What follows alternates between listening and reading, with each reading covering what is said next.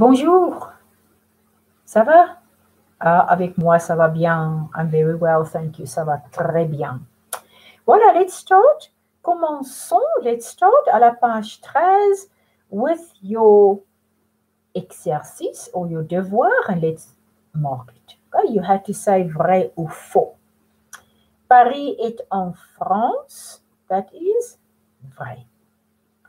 Strasbourg est une ville en France? Vrai.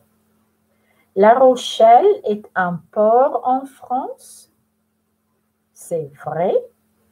Lille est un village à la montagne. Now, if you go back to um, Lille, who lived in Lille? Can you remember? Lille? Where's Lille?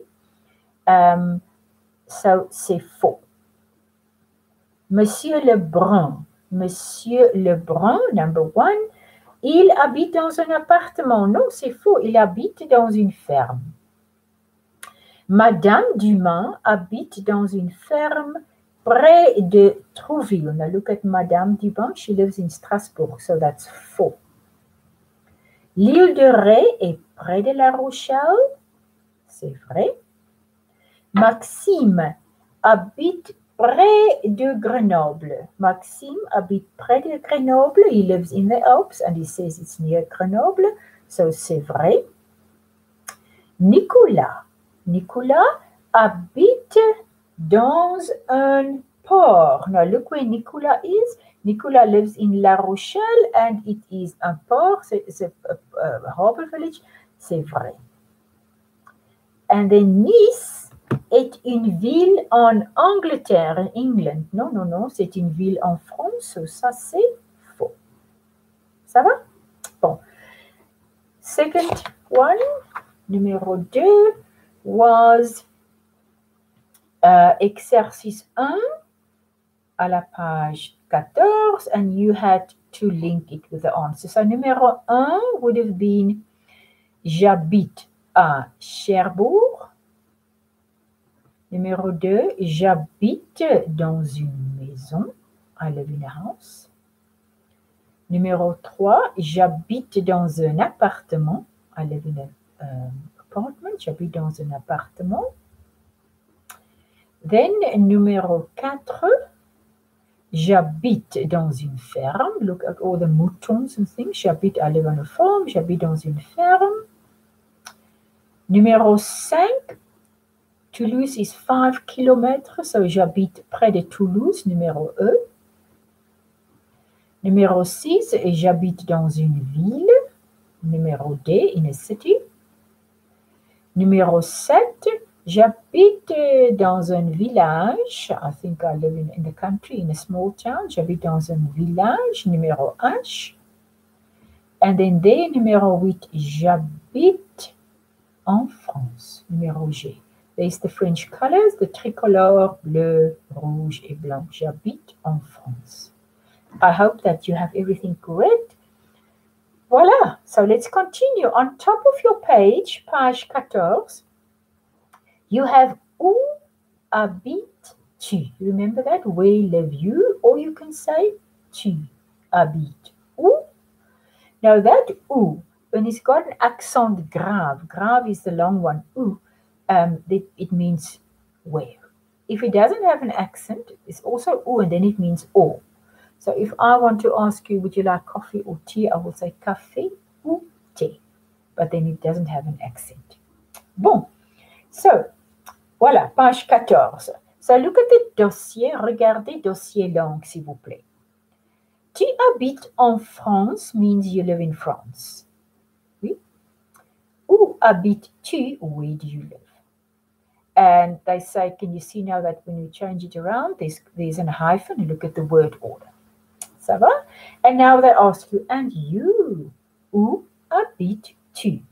Now we can inventer, we can invent our own conversation. So the one boy says, Où habites-tu? And then the lady or the girl, la fille, will répondre, answer, J'habite à Wakefield. Et toi, où habites-tu?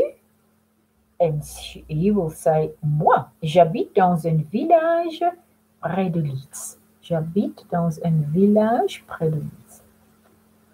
So you can ask, we're not in class now, but you can ask your brother or something, où habites-tu? And then he will say, j'habite dans une maison à Reims. Et toi, and you, où habites-tu? And then you say, uh, j'habite dans un appartement à Johannesburg or something like that. So try to get someone to make a conversation. Remember what I always say, if you don't use your, your French, if you don't use your French, you're going to lose it. Bon, voilà. Now, underneath the l'image, they give you some, some grammar rules. They say, j'habite dans, then you get a house or a flat or a farm. Remember, j'habite in a house, dans une maison. I live in a house, j'habite dans un appartement. I live in a farm, on a farm, j'habite dans une ferme. I live near, j'habite près de. So, près de Pretoria, près de Johannesburg, près de Remser. Then on the right hand side, j'habite à, then you get the name of a city, a town, or a village. J'habite à Trouville, j'habite à Paris. And j'habite en, remember, en, right there, it's a feminine country that ends on an E, except Mexique. And then j'habite au is for a masculine country like Japon or Mexique, or Mexique, or Japon, and or uh, Canada, masculine countries. Ça va? Bon. Now, the block for pour t'aider is always to you help, to help you. Pour t'aider.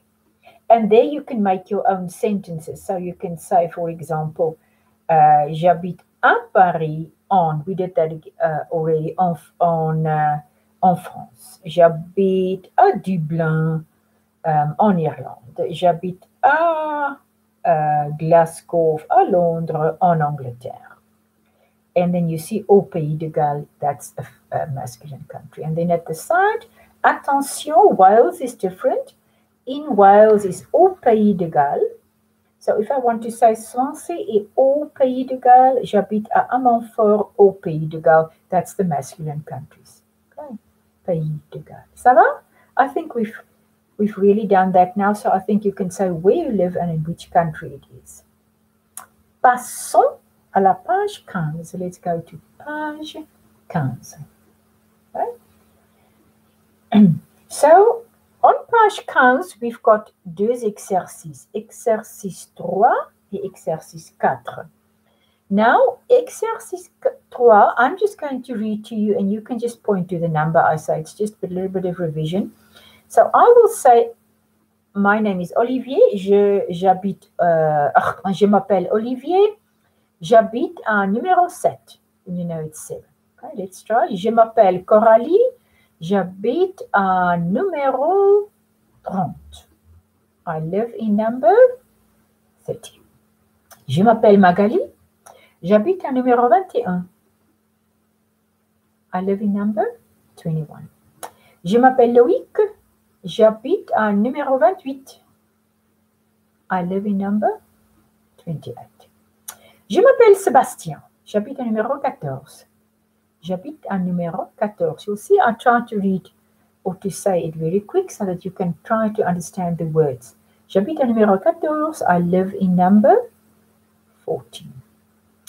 Je m'appelle Monsieur Garnier. J'habite à numéro 28. J'habite à numéro 28, number 28. Euh, je m'appelle Jean-Marc. J'habite à numéro 5. J'habite à numéro 5. I live in number 5. And je m'appelle Isabelle. Je m'appelle Isabelle. J'habite aussi, also, à numéro 25. I live also in number 25, 25. Ça va? So if you live in an estate, un lotissement, the French will say un lotissement, you can say uh, j'habite à Remser Estate, j'habite à numéro 13. J'habite à whatever Carrowit Village, j'habite à numéro 2. Ça va? Bon. Um, and then uh, numéro 4. Uh, numéro 4 is going to be your homework and also numéro 5. So at numéro 4, I would like you to make trouver les paires. find the pairs. Je m'appelle, and which one will then um, make sense to go after that. So which one are you going to leave? And then numéro cinq is inventer des conversations. Now they did the questions and the answers, but they left out the names and the places. So try to make a conversation. Comment t'appelles-tu? Moi, je m'appelle uh, Loïc. Et toi, comment t'appelles-tu? And then, quel âge as-tu? Où habites-tu? And then, au revoir. So remember, when I see you again, I will think that you can say these things. I will sort of just accept that you can say these things. So maybe you can phone a friend in French and say, Bonjour, je m'appelle Paul. Et toi? J'habite, uh, I, I live there. Uh, où habites-tu? J'habite là. And then you go on where you live. So now your speech can be who you are, how you spell it, what your name is, how old you are, and where you live. And you can ask all those questions to someone else. So try to invent a conversation for me there with your own names, and then I'll give an example next time again um, when I am there. So please, so your devoir will be quatre et cinq à la page 15. Ça va? Bon. So now you should be able to say, if you look, if you maybe look in a photo album something, you can say, tell someone, j'habite ici, j'habite à numéro 12, j'habite en Afrique du Sud à Pretoria. And if they don't know where Pretoria is, because the French don't really know Afrique du Sud, you say, j'habite à Pretoria, en Afrique du Sud, of uh, Pretoria est une ville en Afrique du Sud. They tend to know Le Cap, Cape Town, and they, can, they tend to know Johannesburg. That's most of the things that they know about um, Afrique du Sud. Otherwise, they know that it's the country of Nelson Mandela. So a lot of them don't know even where Afrique du Sud is. Bon, so devoir will be 4 et 5 à la page 15, and then we'll mark it next time. Ça va? Bon, now your civilization. Today, I would like to talk to you about a croissant. Now, all of you know what a croissant is. A croissant is that wonderful little pastry that's in a crescent form, the croissant. Now, croissant actually means crescent, croissant. So they say where that comes from was during a war. During a war, um, Vienna was um, under the the reign of the the Turks from from um, the, the and they were all um, from the Muslim um, belief. So they all talked. Um, they and they were there, and they actually didn't treat the people very well. And the people in Vienna, in Austria, um, they were very upset. But when the war was over, and when all the I, I, I suppose you say Turks, when all the Turkish people went back, um, the, the people in Vienna, the, the, the Austrians, they were so happy that actually they baked these little breads as a joke to say they so because you remember for the the the Muslim um, uh, uh, uh, uh, religion, it's the crescent is their is their um, what do you call it their emblem or their symbol. So they bake these little crescents actually to say how glad they are that these people are not there anymore. And uh, it was actually sort of a joke or a sort of just to remind us that they're gone now and we're free now again. And actually, then it went from Austria to France, and there was a, a baker or a, a, a, a pâtissier, actually a pastry man in France, that actually made it perfect. So in when it was baked in Austria, wasn't so fine and so refined, and then it went to, to France. So actually, a croissant actually comes from a crescent. That's the emblem or the sign of the Muslim or the you know the the um, the, the the religion. But then it went to France. But now you get other sorts of crowd. You can some of them are, are really a little bit straight. Some of them are in the crescent form still, and some of them have pain au chocolat. So it's, it's inside the croissant au chocolat. They've got chocolate inside.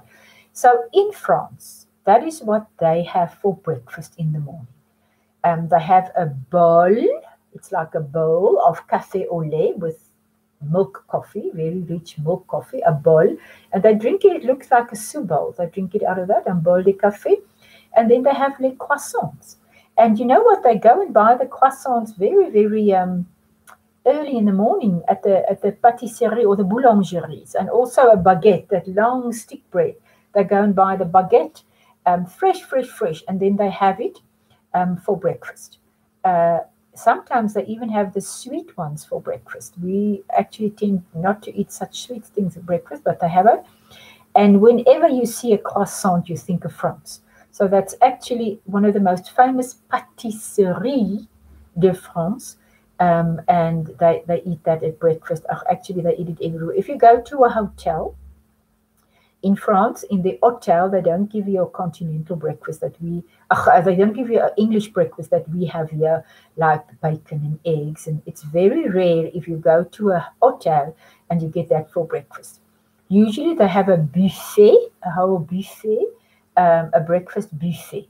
And there are um, paniers, baskets full of croissants, plain croissant, croissant au chocolat, croissant aux amandes with um, almond croissants. Then they have um, petit pain, um, small, you know, buns, and they have the baguettes, and then they have fromage, cheese, and all the um, sorts of things that you can put on your bread, all the confiture, all the jams and confits and things. Then they usually have fresh fruit, uh, fruit or salad or fruit, fruit salad. They have um, sometimes they have uh, cold meats like jambon and those things that we have that you can put on your croissant, and then um, café ou thé or jus de fruit. So that's actually what you have for for for breakfast. And then what they love a lot, they love Nutella. So they like to they like the Nutella to you know to put on your croissant, even make it even sweeter. Um, and then they have baskets full of fresh fruit, fruit salad, all those things. So you can actually eat a lot, but it's not usually a warm petit déjeuner. It's actually a buffet de petit déjeuner froid, but it's just as delicious. Bon, so I hope you're hungry now. And I'll see you next week, la semaine prochaine. And then we mark our devoir, our exercice, and then we'll go back, we'll start at page 16. So I'll say Au revoir. À bientôt.